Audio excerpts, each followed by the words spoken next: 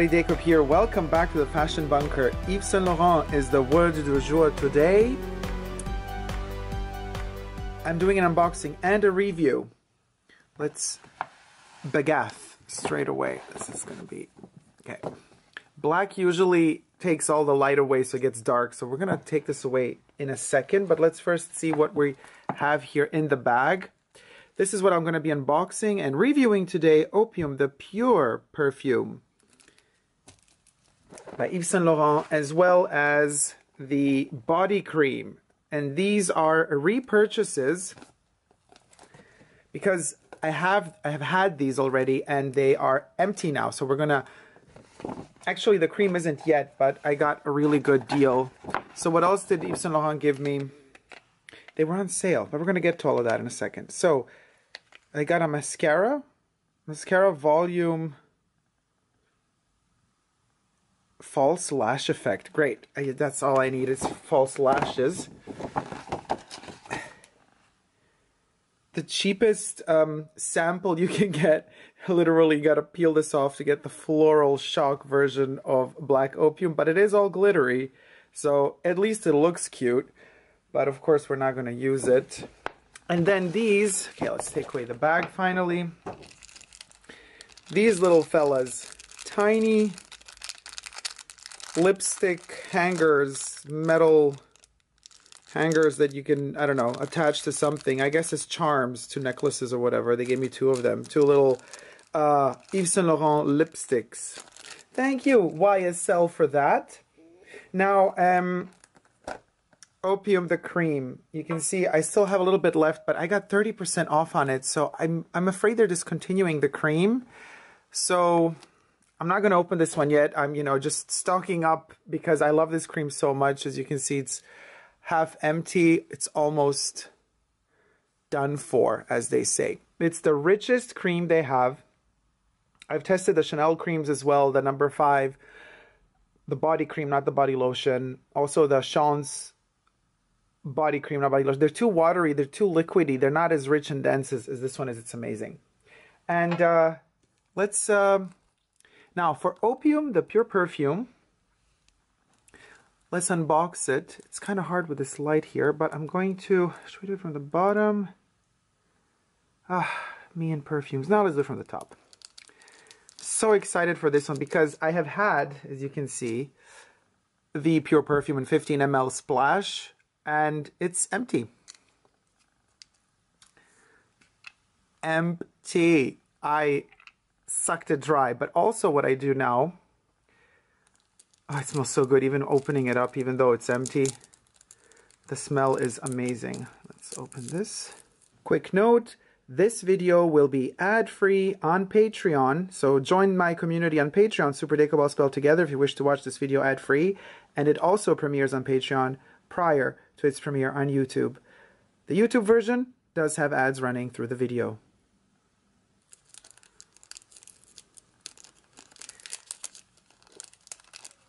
So what I've noticed, um, unfortunately, now I know a lot of you have been asking me, oh, Deco, where did you get opium? I mean, you, you can still get it in Europe. But unfortunately, even in Europe, I've noticed it's it's the end. I think that they only produced it for a short period of time um, in 2017, to be exact. Oh, there it is. Ugh. I'm always in awe every single time. Are you kidding me? I love this perfume so much. So what I've I've checked the um, at the bottom here, you can see the um, batch code. Well, that's hard to see anyway. So it's 62P2, okay, 62P20DL. Now, every box of uh, opium parfum that I found has that batch code. The batch code then goes back to February of 2017. So it's three years old, basically. And I, I can't find uh, anywhere a batch that's younger than that. So I think that they've interrupted production after February 2017. I hope that they haven't, but it seems as though they have. Which is terrible news. So I'm, you know, stocking up. Whenever I manage to find something uh, for a good deal, I buy it because I love opium so much. I am literally, I know it's a, it's kind of like a pun because it has, the perfume has the name of a drug, but I am addicted to it. Um, so this is the, the box of the other one that I had that's now empty. There's a little sponge in there to protect the stopper. So it kind of lays on top of it like that. But uh, yeah, I even keep these boxes. They're they're really gorgeous. Now in the 70s and 80s and even all the way through the 90s, they made these in plastic, but I do like the paper version much more. I don't know. Somehow I've grown accustomed to this one and I find it much more elegant with the folded paper and cardboard than the plastic version used to be. Uh, in this video, we're also going to touch base on the Eau de Toilette the classic original. You could check out the review of this one in the card section up above, but also the link is in the description box down below. This is the packaging, how it used to look like. Much more ornamental than uh, the new, more minimal version that came out in the 2010s, the late 2010s. And we will mention also the Eau de Parfum, the new uh, formulation of the Eau de Parfum of opium, because some people do state that the formulation, the 2017 version of the pure perfume, is just a more concentrated version of the eau de parfum. Is that true or not? We're going to find that out in this review. Um, I personally, well, we'll get to it. We don't know yet, right? I mean, I know already, but we're going to find out. Now, uh, I think that I did with this one after I started using it. Uh, pretty soon after that, I uh, this splash bottle, I mean, to travel with it, it's it's very delicate. So I do um, decant uh, the the perfume. Oh, there's a little pebble there uh, into glass bottles. And this one is now empty. So I will actually decant this one in here as well. And I will be probably getting a third one just to have always one to have with the liquid in it and, you know, to use it as a sort of a splash bottle or just to have the beautiful full version of it with the yellow liquid in there. And uh, I always have the little sprayer with me when I travel. So this is a 20 ml glass bottle that I got at, at a pharmacy. And I also have a bigger, how big is this one? 50 ml bottle that I got for the eau de toilette, the vintage eau de toilette. So I have decanted that in here as well. And uh, just be careful if you do decant your, uh, your opiums uh, that, uh, well, first of all, I use a funnel, like a glass funnel. I, you know, you can unscrew this, put the funnel in there, and then just like verse it. It's, it's a bit tricky because, um, as you can see, the glass is surrounded by a ring of metal, and then you get perfume kind of pouring in, in between the glass and the metal. So you got to really know how to how to work your magic with this one. But it's it's all doable. You just got to have a lot of patience and be very precise. But what I wanted to say is be careful. Some people uh, also purchase decantable bottles out of plastic. Opium does not like plastic. The actual pure perfume is quite resinousy and oily. So what happens is um, it kind of, I don't want to say it starts melting the plastic, but the plastic inside gets gooey if it's in, in contact with the pure perfume for a long, for a longer period of time. So you got to be careful there. Uh, I would always recommend um, I would always recommend using glass bottles uh, to decant. So this is how it looks inside. This is actually fabric material. And there it is, our new opium. Um, already in the past, this has been the case. As you can see, slight difference in bottle color. The eau de toilette was a little bit lighter than the pure perfume. That is, that should not be a surprise. It's still the case now. Uh, okay, so shall we open this one just a little bit just to test it out? By the way, I'm wearing um, it's a soft vintage, not 20 years old, but it's a soft vintage uh, Yves Saint Laurent bracelet. This was made while uh, Yves was still alive. Okay. And, you know, mind you, I am pushing pure perfumes because it is an art that is dying out. Let's just put it here. Oh, that's a lot. And look, the cool thing is, it kind of just hangs there. It's so dangerous. You have the feeling it's going to like flip over and you're going to lose all the liquid, but it's it's not going to happen. We're going to be very careful. Okay. So I will be, as I said before, decanting this one in the little sprayer bottle. Um, oh my gosh, the, the smell is amazing. Where do we put this now? So, so I'm sure it doesn't fall uh, down. Okay. Mm. Now, the people that hunt down vintage opium, the pure parfum, uh, usually have, well, usually say, oh, I prefer the original uh, to the new. I know it's very rare to find the pure perfume nowadays, even in the newer concentration or the new formulation, but people do tend to say that they prefer the original. Now, I do have. Uh, well, I don't have it anymore because I, I, finished it, but I have tested several times in my life the vintage, vintage pure perfume of opium. Uh, they all they don't opium is a bit tricky. It doesn't age as well. It's very it very easily mm, the top notes kind of go a bit rancid. Now you could be lucky and find really well preserved bottles but it's kind of tricky. And what is so to the people that say that the new formulation of the pure perfume is not the same as the old formulation i tell you be wary of the fact that this is a fresh batch now even though this one is three years old that's still very fresh if compared to a, a, seven, a late 70s or early to mid 80s or early 90s batch. And uh, in general, fragrances, if you don't open them, you know, they say that on, on the shelf life is up to five years. After you open them, then there's this like date. This one says 24 months. So now that we've opened this one, it will be kind of fresh for 24 months after opening it. And these don't last 24 months two years no i'm done with them in half a year tops uh, because i really use it a lot and especially because i i verse them into the uh, the sprayer bottles so i say there's a freshness and a sparkliness to the pure perfume when it's fresh so you will think that it smells quite different from the vintage pure perfume that you find sometimes on secondhand websites but uh, you know, if this one were to age 15 years without it being used or opened, it would have a very similar smell to the vintage ones today. So that's something to keep in mind. However, of course, with all the reformulations that have been going on, this one is also uh, reformulated as opposed to the 70s, 80s, 90s version of it.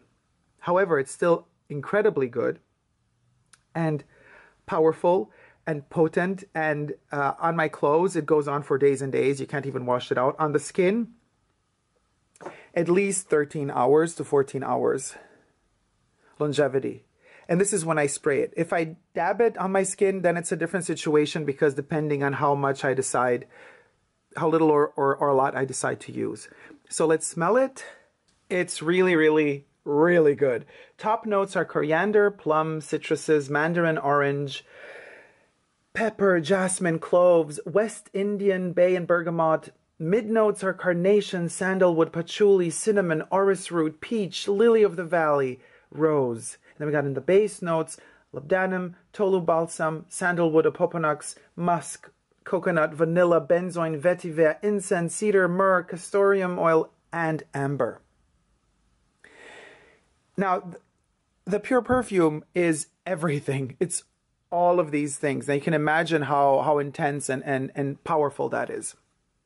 And still in the formulation from 2017, hmm, we sense out the complexity of it.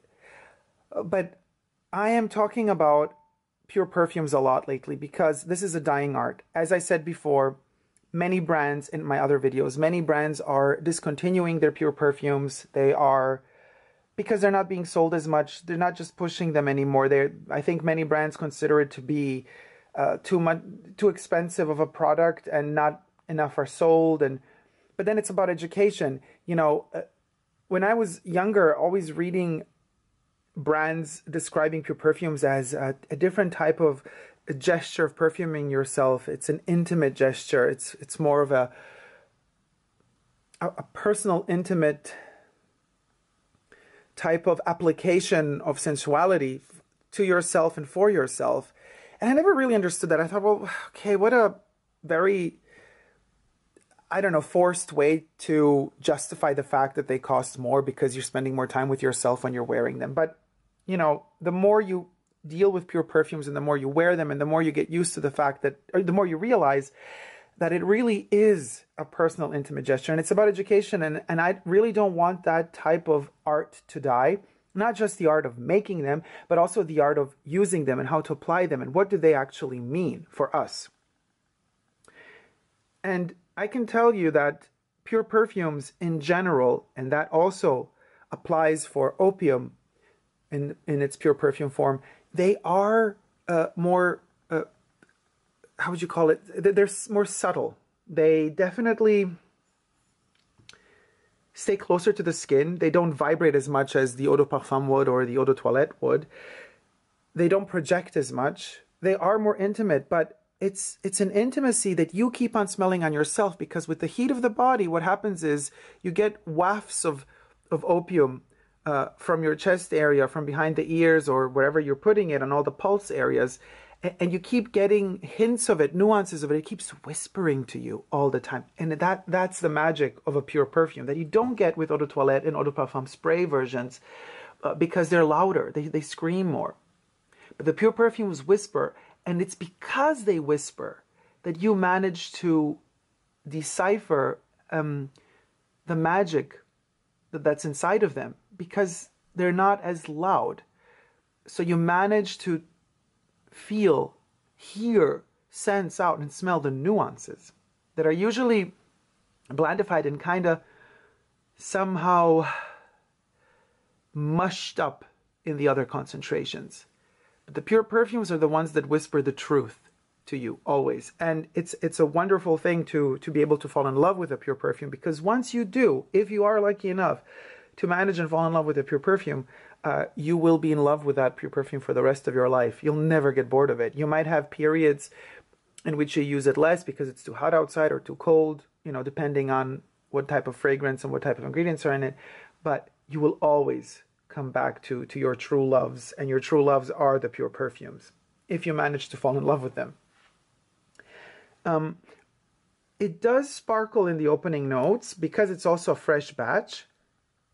So you do get uh, the the citruses, a little bit of the mandarin orange, but it's very peppery. So what happens is, um, I would also say, you know, you can almost feel as if it had a lot of aldehydes in there. But you know, sometimes, in some cases, aldehydes are listed. In other cases, they're not.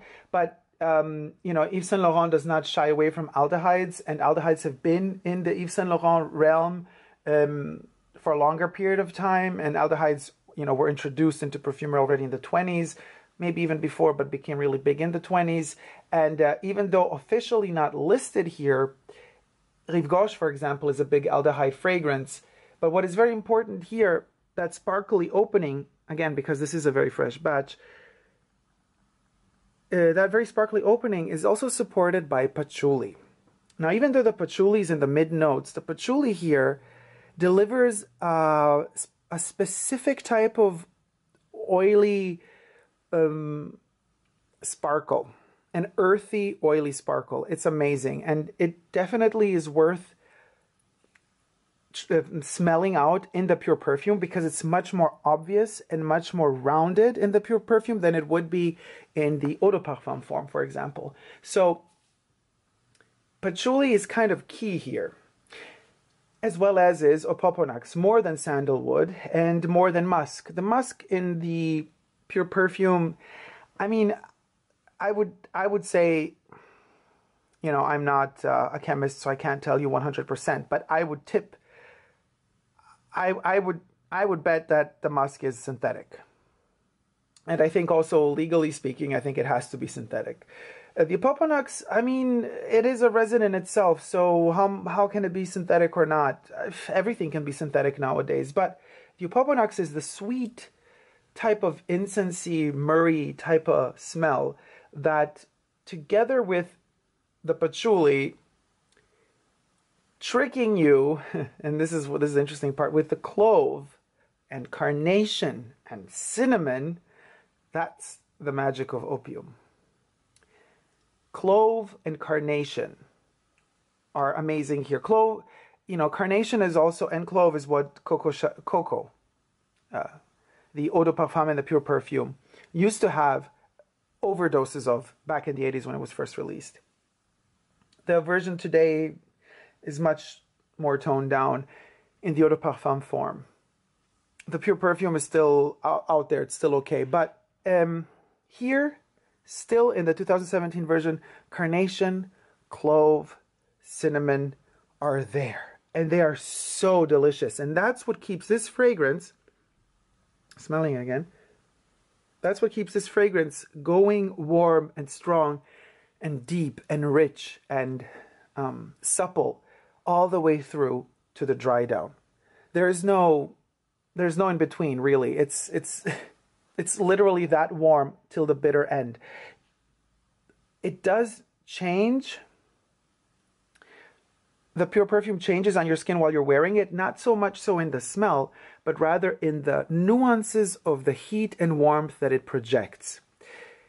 So if throughout the day, throughout those 12 to 14 hours that you're wearing it, that you're smelling it on yourself like I do on me, you know, if I'm more stressed or less stressed, if I'm more calm, less calm, if I'm more cooled down, more calm, more more heated up, more more cooled, uh, if I'm hungry, if I'm not hungry, I will smell the heat of opium in a different way it will fluctuate, it will alternate its intensity of heat, but nevertheless, the heat will stay till the bitter, bitter end. And that's magic. Because a lot of perfumes today, you know, in their other concentrations, EDTs, EDPs, a lot of them, a lot of modern creations just have a really bland and quite frankly cheap smelling dry down. That's not the case here the deeper it goes and the more you're going to be burying your nose into your skin because you're going to want more of that heat. You're going to get addicted to it. That's literally why the name is opium. In the pure perfume form, you will get addicted to it because that warmth is something you're going to seek out and you're going to want to seek out each and every nuance of that warmth on your skin. So you're going to keep on sniffing yourself. I mean, that's just how good it is and that's how good it's going to make you feel. And that's why I am begging Yves Saint Laurent to reintroduce the pure perfume on all the markets worldwide because this is such a pity to lose this jewel, to lose this diamond. I mean, that they've produced it only in 2017 and then stopped producing it again, it, it's such a shame. A quick uh, comparison or just a sort of answer to the people that say that the pure perfume current formulation is just a more intense version of the eau de parfum. I would say no. It's more than that. It's more oily, it's more resinousy. And the biggest difference between the two is uh, that the pure perfume of opium uh, dries down to a warm bed of a floral type of a popanax where the carnation and the clove are still really active. While the eau de parfum doesn't go into that popanaxy resinousy territory, the dry down, while still potent and while it still lasts really, really long time, it kind of has a drier feel to it, which is also great. But to my nose, it smells a, a nuance. I mean, I love the eau de parfum, so I don't want to say it's cheaper than the pure perfume. I mean, it is cheaper because it costs less. The ratio milliliter uh, you know, the dollar per milliliter or euro per milliliter is, is just way different, obviously, but that's the, how it is with pure perfumes in general. Um, but it, it does have less of an intimate warmth, the eau de parfum, definitely, uh, fr- from the pure perfume. So it's not just about a higher concentration. So it's not just that the pure perfume is a higher concentration of the eau de parfum. It is different. It, it's it is richer. It, it is more deep and in many ways darker, but also lighter because when you are wearing opium, uh, the pure perfume, you are going on a journey and it does take you over endless landscapes of dunes. And I know this is considered the epitome of, of an oriental fragrance, but to me, there's also the desert in there. There's the sun and the sun is, is burning your skin, but at the same time, it's as if you had a protection shield, which is opium that kind of cools you while it's so hot outside. It still cools your soul and it comforts you and it makes you feel like everything is going to be okay. So it is like an addiction. I mean, your body is like suffering, it's burning under the sun, but at the same time, internally, you are high. And that extreme amount of pleasure, um, you don't you don't get so high with your parfum. You only achieve that with the pure parfum.